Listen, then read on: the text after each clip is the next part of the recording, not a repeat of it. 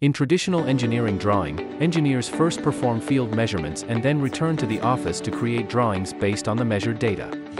The FJD RTK Measure and Draw feature changes this workflow, bringing mapping efficiency to a new level.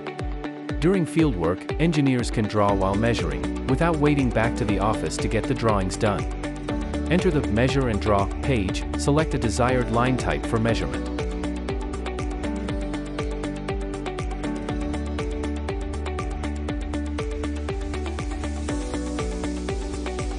If a measured point is incorrect, click the return icon to measure again.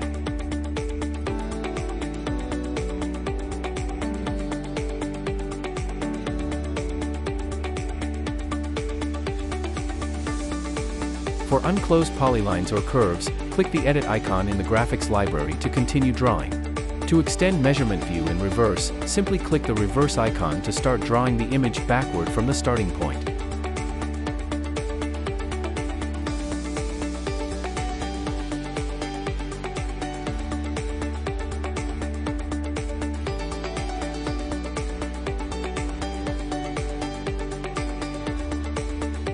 This feature also allows for collecting some points first and connecting them directly on the map.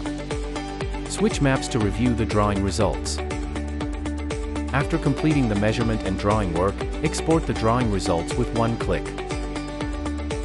Drawings can also be uploaded to the cloud for sharing with other projects and systems. FJD Trion. Work made easy.